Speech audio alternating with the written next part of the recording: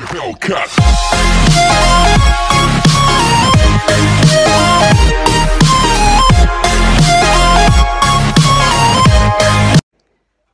guys! It's me again, Marie Rasmussen from Norway.